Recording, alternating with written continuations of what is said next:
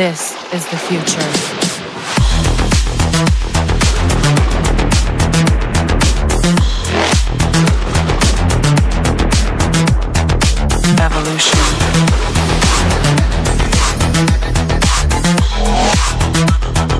This is the future.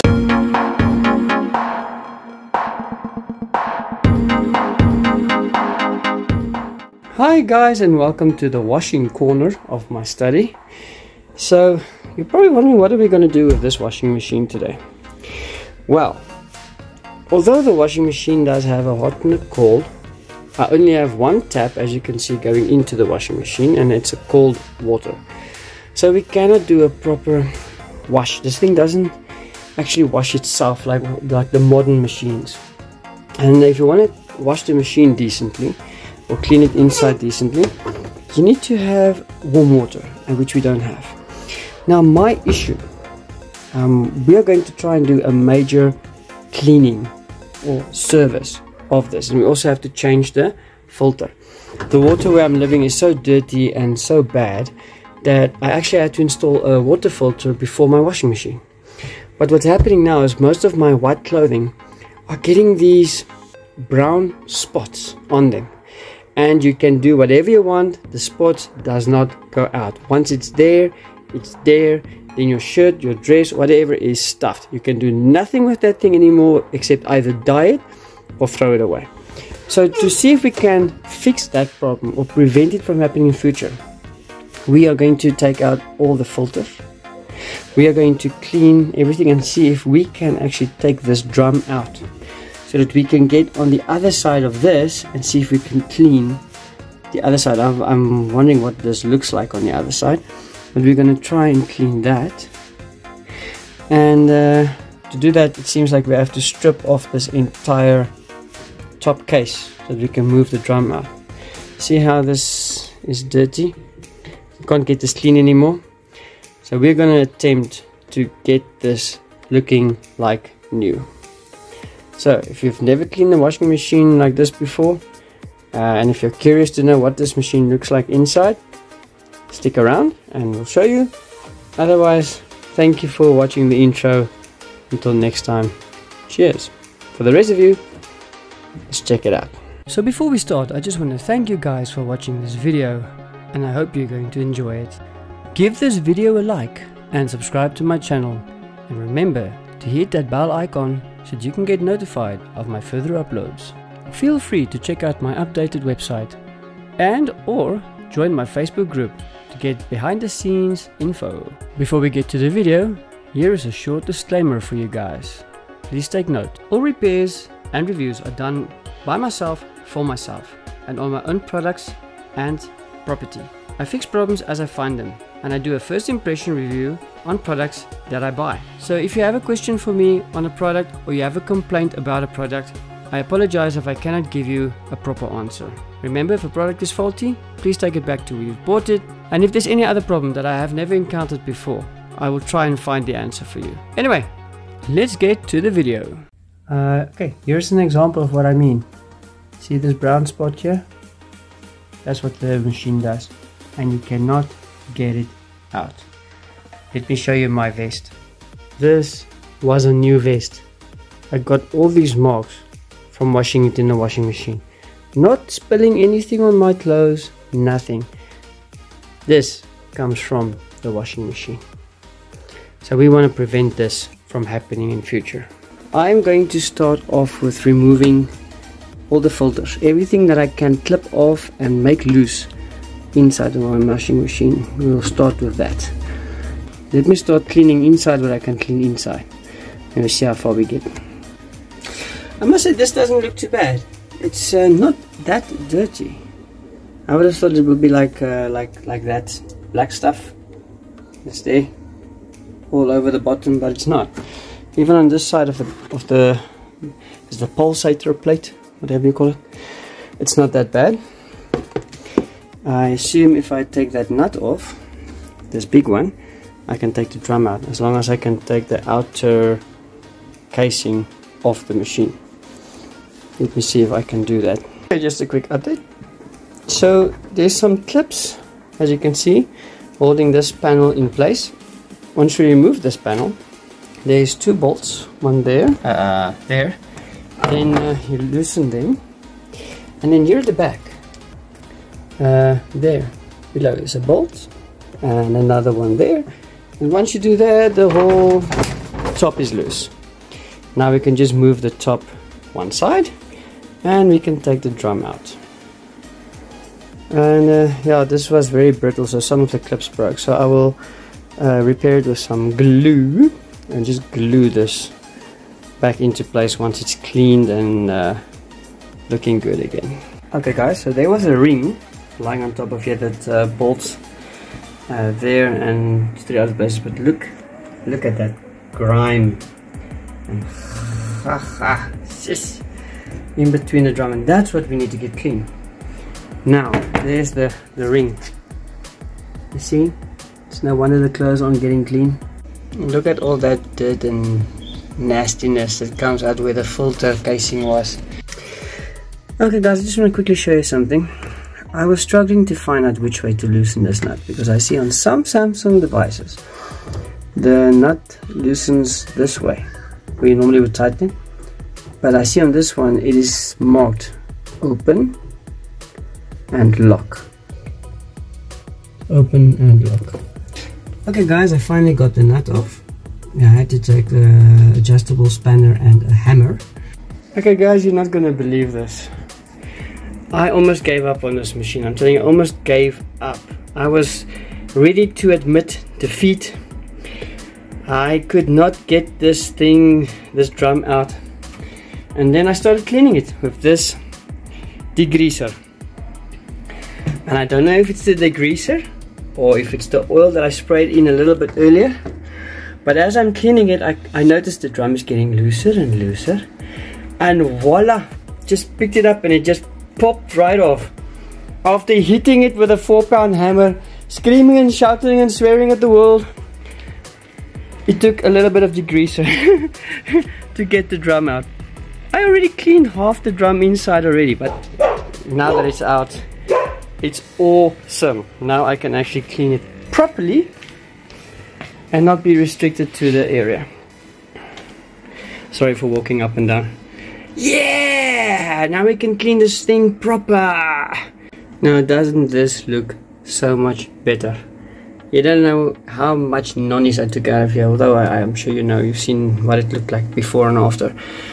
But yeah, that stuff really, really works very good. I wonder how it will do with oil. But anyway, so uh, unfortunately I can't get in this tube here. Um, I think all that nonsense is falling down into the bottom of the washing machine so I can just sweep it out later. Um, but the inside of this uh, drum is clean, or the outer hole of the drum, whatever you want to call it. Uh, there's some rust down there. Uh, that's from water, so there's nothing we can do about the rust that's my drain port there. I'm just gonna wait for it to get totally dry. Then I will uh, pick up all these little pieces of nonsense that's still left because I don't want all of that to go out into the drain. Um, yeah. Next up will be the actual drum cleaning it inside and out. And then we can put the drum back in and so on. Okay guys I'm almost done with all the cleaning doesn't this look so much better? And even the outside is now nice and chromy so um, this is why they say check your filter at least once a month. Look at all this nonsense.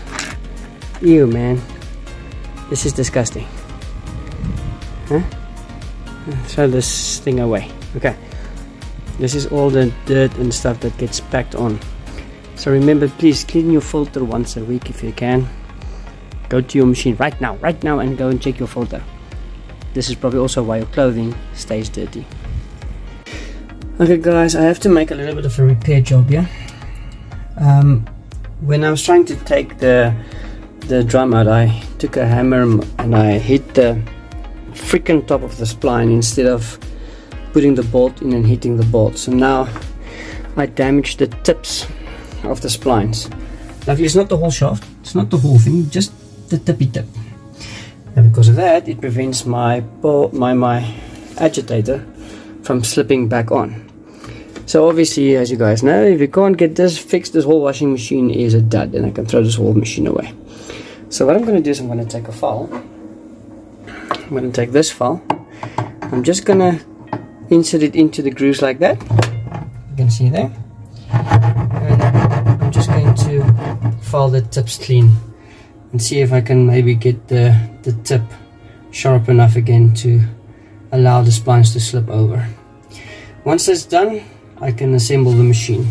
The cleaning is done, everything is clean, uh, all the parts are clean.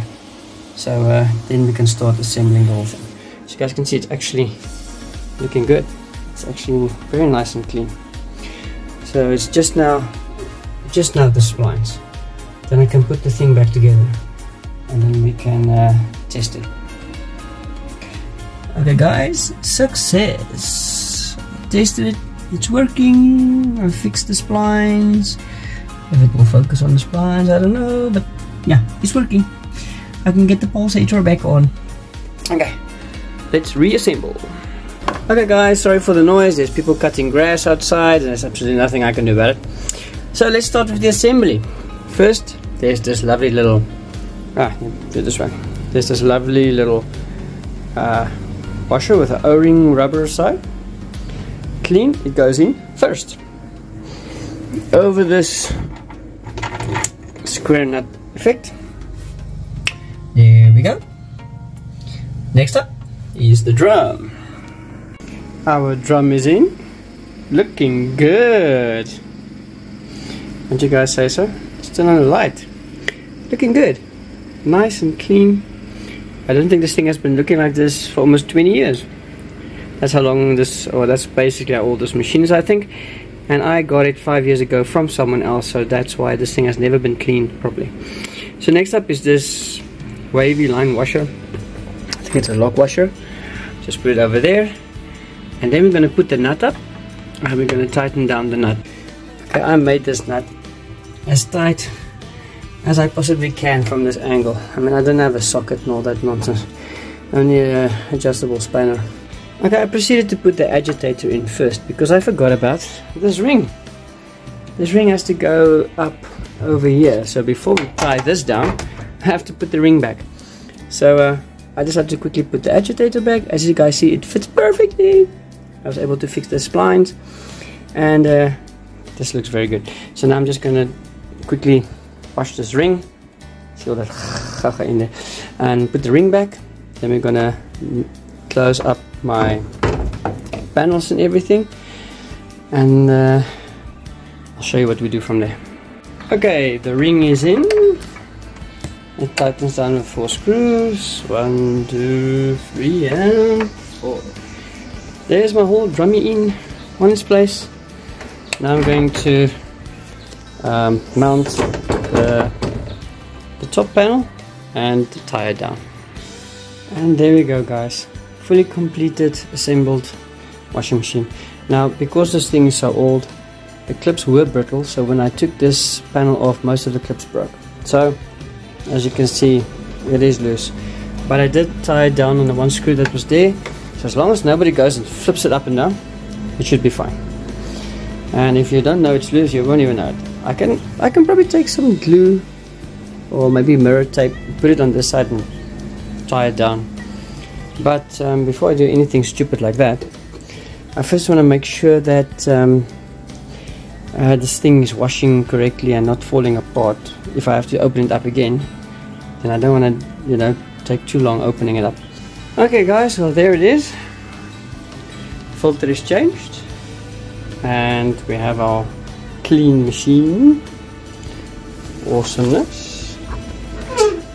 I like it now I'm just gonna start the machine up and I want to have it wash once through just with clean water just to flush out whatever else is here to flush out and to hear if the motor is working fine if I didn't damage anything at the bottom if the drum is coming loose all that kind of stuff before I put clothes and everything in so let me do one wash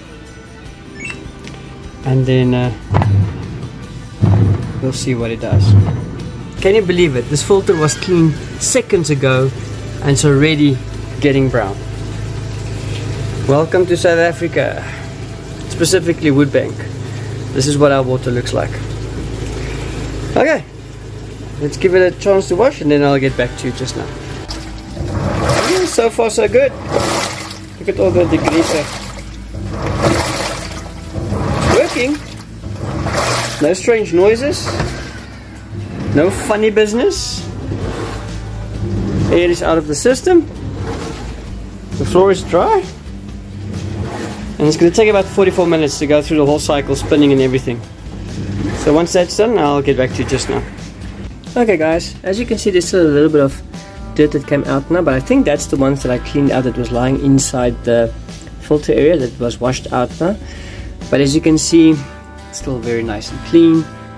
It ran the whole cycle and uh, yeah, no, no funny noises, no strange anything's working perfectly like it's supposed to so I will consider this another job well done so guys you know what to do? If you like this video give me a thumbs up. Remember to subscribe to this channel and to hit that bell icon if you want to get notified of any of my further uploads. In any case whatever you do in the future remember to keep it safe. And until next time cheers